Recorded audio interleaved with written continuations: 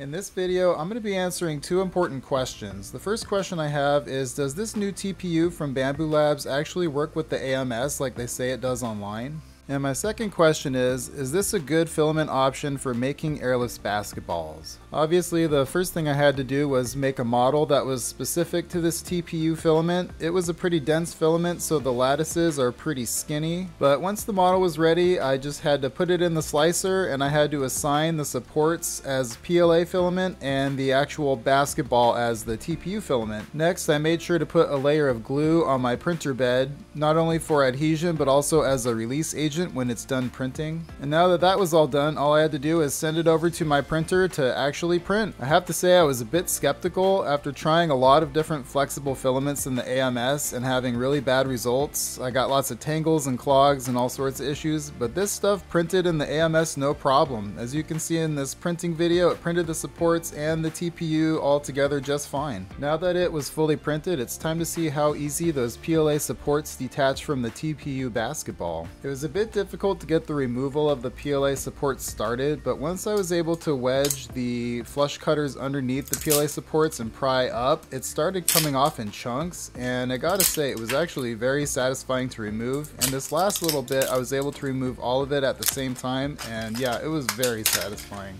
Now that the supports are off, we have our basketball ready to go, and usually I wait until the garage to do any sort of bounce testing, but I had to just give it a shot here in the 3D printing room, and that was kind of a bad idea because even within the first couple dribbles, I ended up hearing a bit of a crack, so I'm going to take it out to the garage for bounce testing. But first I wanted to weigh it, and it ended up weighing about 596 grams. Next, I took it out to the garage for actual bounce testing, and the ball cracked on the very first bounce that I gave it in the garage. It's a big bummer when you spend multiple days printing one of these basketballs and it cracks on the very first couple of bounces. I wanted to compare the bounce for this TPU ball compared to a different TPU basketball that I printed a while back and I don't know if you can tell from the video but it does not bounce well so I wanted to see how they compare to each other but I think the TPU ball that I just printed was too compromised and within a couple tries it cracked right down the middle. I think it's fairly safe to say that this is not the greatest filament to print airless basketballs with. Well there you have it. It looks like this new TPU from Bambu Lab